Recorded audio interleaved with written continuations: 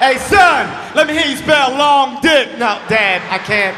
It's against the rules. L O dick. No, Dad. All right, all right, all right.